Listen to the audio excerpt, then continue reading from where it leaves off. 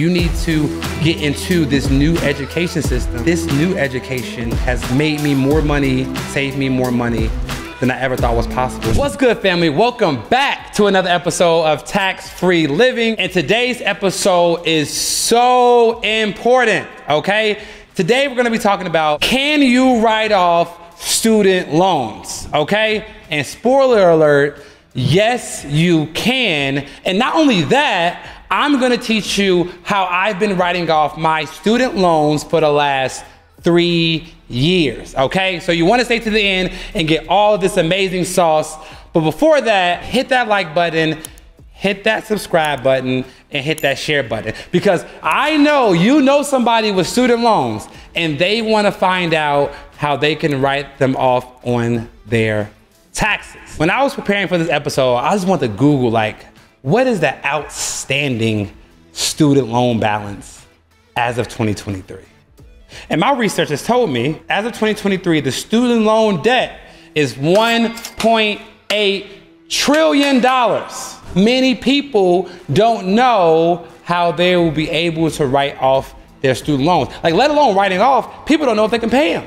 So today I'm gonna give you all my thoughts about student loans and how you should be effectively writing them off on your taxes. At the beginning of this year, the Biden administration, you know, released Biden's student loan forgiveness plan, which was supposed to have a half a trillion dollars worth of student loan forgiveness. It was also supposed to wipe out student loans for over 20 million people right? So at the beginning of 2023, everybody, including me, thought that, that their student loan was going to be wiped out. But lo and behold, um, halfway through the year, Chief Justice John Roberts basically dead at the whole plan. As of right now, we don't know where it's at. We don't know where it's going to go. And we don't know if it's going to be reinstated or not. So, what I want to do is give you all the best weapons that you can use to get rid of your student loans and potentially write them off on your taxes because we can sit around and wait for the government to do something but I wouldn't depend on it, right? That's what really made me want to make this episode and really give you all the keys on how you can write off your student loans. On a basic level, anyone who has student loans is able to write off up to $2,500 of student loan interest on their taxes. So if you have student loans out there and you're paying them, because again, if you're not paying them, you can't write them off, right? So if you have student loans and you're paying them, you are able to write off up to $2,500 of student loan interest, not the principal, the interest. Now, the good news is that when you're paying off your student loans, especially the first five to 10 years, it's majority interest. So you're paying mostly interest anyway. That means if you pay $10,000 worth of interest, you only can write off 25% of what you paid, right? What also sucks about this is that there's an income limit on your eligibility to write it off. So if you're single and you're making less than $70,000 a year AGI on your tax return, you're able to write off the full $2,500 in student loan interest. But if you make between 70,000 and 85,000, like the more you make, the less you're able to deduct.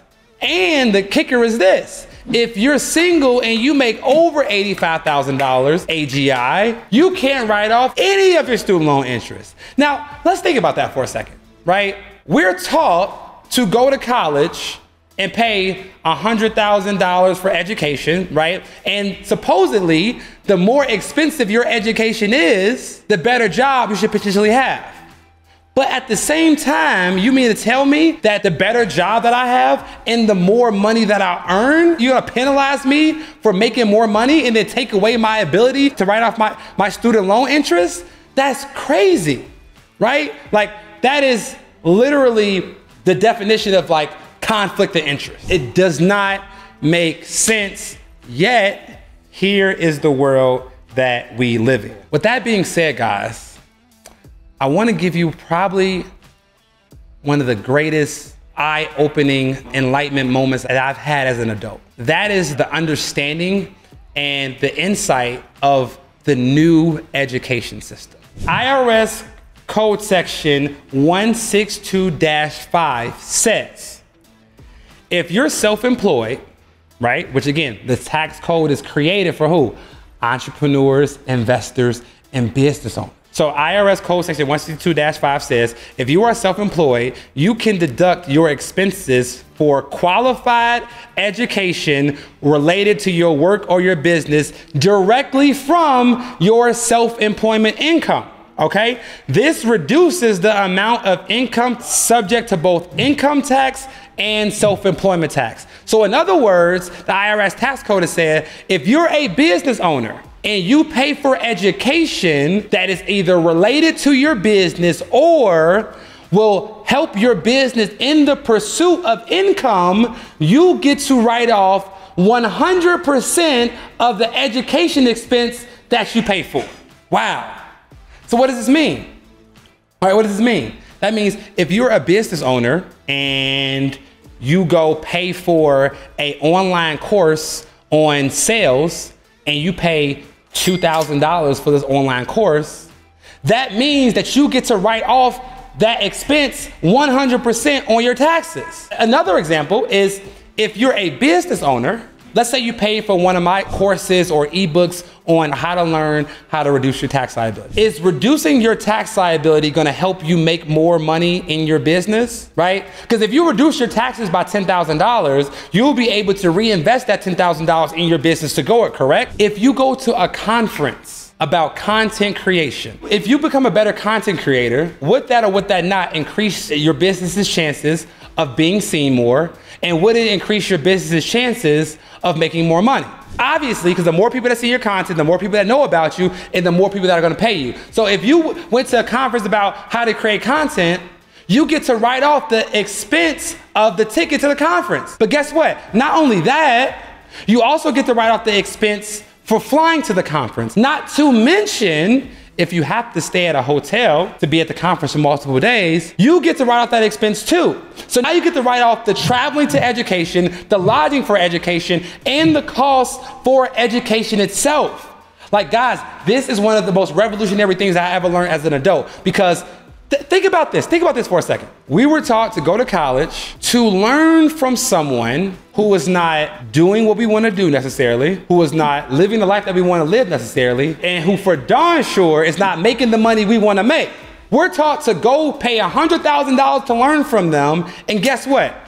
We can't write that expense off on our taxes at all. Yeah, we get a little deduction for tuition. Yeah, you can get a credit for the opportunity credit, but that's pennies on a dollar compared to how much college costs. And then when we take out loans to pay for college, we can only write off $2,500 of the interest on our student loans. Like that's the scam of all scams, right? And I say that as a person who fully went through it right? Again, when you don't know better, you can't do better. But now think about this. Now that I'm a business owner, I can go pay a billionaire like Grant Cardone to learn about real estate. I can go pay a multi-millionaire like Gary Vee to learn about content creation. I can go pay a billionaire like Tony Robbins to learn how to be a better public speaker. I can go pay these people who have a proven track record of doing what I want to do, living the life I want to live, making the money I want to make, and every dollar that I pay them is 100% tax deductible to me. And I get to write off my student loan expense related to paying them. So, Carter, what do you mean, right? So that means that if I wanted to pay Tony Robbins to mentor me, right? If I wanted to join one of his mastermind programs, let's say the program costs $100,000. I can go to the bank, I can get a business loan for $100,000. So I pay him the money, I get a $100,000 tax deduction on the spot, which is gonna dramatically lower my tax bill. But now I got this outstanding loan, this outstanding education loan that's paying for my education. But guess what? Any interest that I pay on this business loan is also 100% tax deductible. So I get a tax deduction for paying for the education, and I'm able to deduct 100% of the interest that is associated with paying for that education. Guys, when I learned this, I stopped putting my money in traditional education and I started paying for coaches. As of this moment, I spent over $400,000 on personal development coaches, online courses, masterminds, mentorships, all that. I've wrote off over $400,000 in education expenses, and I've made millions of dollars from the education that I gained from these programs. If you want to write off 100% of your student loans, you need to get into this new education system, which will not only help you make more money, it'll also help you save more on taxes. So, if you like this episode and this episode changed your life at all, or you even got one gem, please hit that like button and please hit that subscribe button. And on top of all that, please share this because like this new education has like made me more money, saved me more money than I ever thought was possible. And I just encourage you all to get on the wave and, and, and start expanding your way on what you want to learn because you know you can learn more and you can earn more. So if you like today's episode again, hit the like button, subscribe, share, and I'll see you next time. Peace.